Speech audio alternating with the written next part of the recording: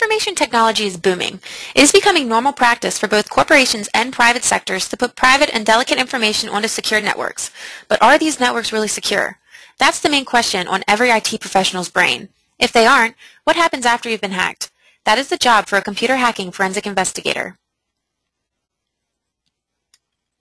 In a perfect world, we wouldn't have to worry about who's accessing the information that was meant only for our eyes.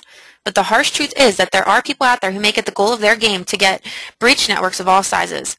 No matter the reasons behind them, hackers exist. We need to beat them, so we must think like them and catch the holes and cracks in the infrastructures before they do. The people responsible for hacking these networks illegally and causing panic need to be held accountable for their actions and must be prosecuted. This introduces the need for cybersecurity professionals across every realm of IT. So why are these cybersecurity professionals needed? Well, millions, even billions of companies rely on the Internet to house important information and as a means of communication for numerous top-secret discussions. As the amount of information being secured on the network increases, the amount of hackers trying to, and sometimes succeeding at, tapping into them is increasing exponentially. This accounts for cybersecurity being one of the fastest growing fields. EC Council is the main organization addressing the need for cybersecurity professionals. It was developed and created after the unimaginable terrorist attacks of September 11th. The security certifications instated by EC Council create a uniform standard across the board of IT professionals. These certifications ensure that the knowledge to protect companies remains in tip-top shape at all times. EC Council has also paved the way for over 80,000 new trained security professionals, including 30,000 trained at very advanced levels. The first line of defense against hackers is a CEH, CEH stands for Certified Ethical Hacker. This is, without a doubt, the EC Council's flagship program. It leads the way for all the other certs to follow. As you can guess by the information I provided you so far, CEH is the hottest certification out there. It teaches you offensive hacking. That includes practicing penetration tests on networks to see where the holes and missing components are. Your goal as a CEH is to protect the client's network and keep unwanted visitors out. Having this certification will benefit auditors, site administrators, and security staff, just to name a few. The average annual salary of a CEH is about $92,000 a year. Hackers are very sly. They can wiggle their way into the smallest cracks and turn a company's network completely onto its head. Even the best CEH or penetration tester can't catch everything every single time. So let's just say that a hacker has worked his way into your information. He's got that illegally. Now you need a CHFI. A CHFI is a computer hacking forensic investigator. This is the person who's going to put together the pieces and clues and bring the malicious hacker to justice. This is done through very intensive computer investigations and analysis techniques, which will lead to successful prosecution. Having the ability to bring these guys down will benefit all IT professionals involved with security, forensics, and incident response. This sounds both interesting and fun, right? But how are you going to get certified?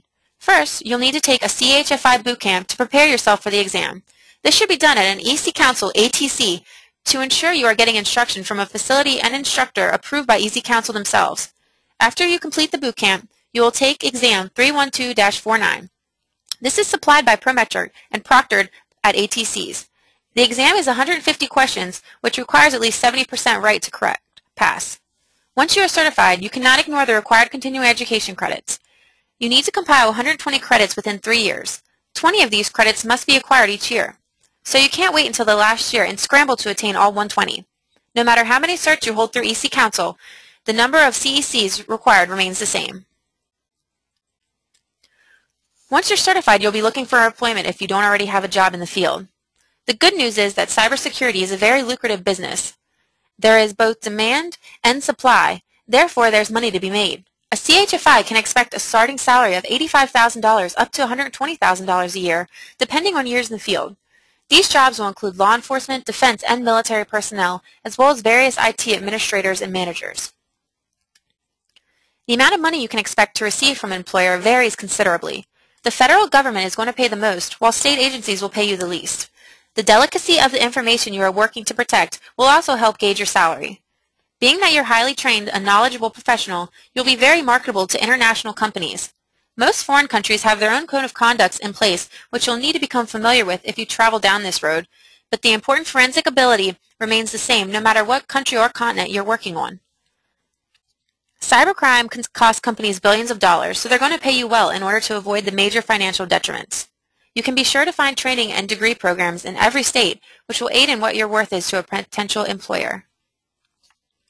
This is a list of some of the major cities in the U.S. and what you can be expected to be paid as a CHFI. As in any career, your salary will alter based on the cost of living in the area you reside. Let's take a look at a few which illustrate this. New York City pays upwards of $100,000 a year to CHFIs, but it also costs a lot more to live in this city. Miami, Florida pays about $30,000 less at $71,000 a year. Portland, Maine is paying their CHFIs around $45,000 a year. But remember, this is all just averages, so you're not guaranteed to achieve this amount, and you may even get much more based on your skill level. Advanced Security by the Academy of Computer Education is proud to be EC Council's two-time ATC of the Year. We acquire this honor by providing the best subject matter experts that your money can buy. We offer advanced security courses which have been designed by the SMEs themselves and aren't offered anywhere else. These courses include mobile hacking and cyberwar, just to name a few. The amount of hands-on labs and demonstrations provided in our courses is unrivaled by anyone in the industry. With convenient locations in both Greenbelt, Maryland and Ashburn, Virginia, we're well situated to provide your training solutions.